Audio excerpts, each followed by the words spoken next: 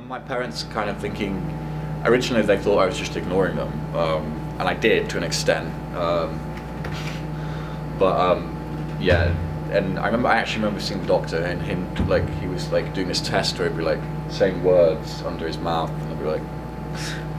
Right. And, then, and so then they gave me NHS. NHS, you know, in the UK is the, the Free National Health Service. Okay. They gave me hearing aids. And you've um, been wearing since then, continuously. I have. A, I was up until about three years ago. Okay. I, uh, I actually received like an, an, an endorsement from a private Okay, great. company um, called Widex.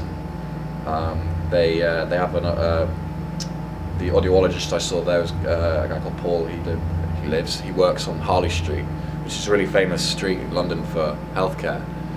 And I was blown away. They gave me these. It's uh, wonderful. These hearing aids I have here. Which And the first thing when I came into the room is I hardly noticed you were wearing them. Yeah, you can't you can't see them. That's one of the benefits. As I've got older, I've kind of accepted it more, and I don't really mind if people can see them. Wearing I'm kind of just like, you know what, if you've got Sure. a problem with it. Then. When I was a kid, I hated it. The Alport Syndrome Foundation was created by patients so that no one ever feels alone when dealing with this genetic kidney disease. Our mission is to improve the lives of patients like Thom.